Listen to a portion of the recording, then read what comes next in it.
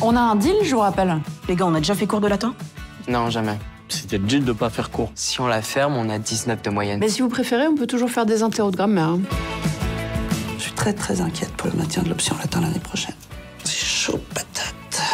Si on fait rien, j'ai peur que ce soit dead. Alors, je vous présente Monsieur Cagna. Il faut que vos élèves soient brillants à ce concours. Monsieur Cagna va nous accompagner pendant toute la durée du concours.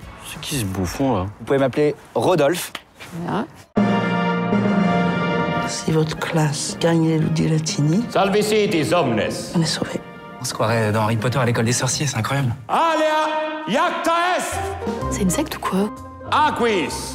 Datif L'Oréal ou ablatif L'Oréal? Là, on a juste rien compris. Hein. On a compris qu'on était des grosses merdes. Tout ça parce que vous avez la flemme de nous faire cours. Bah, tu dis n'importe quoi. C'est-à-dire, vous avez jamais fait quoi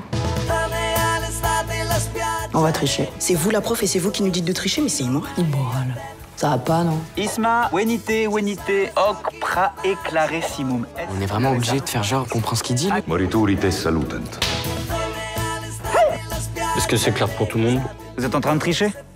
Ça me fait pas rire, mais bon, c'est pas bien grave. Y a rien de grave pour vous en fait. hein. En fait, tout ce qui compte pour vous, c'est de garder votre petit confort de fonctionnaire.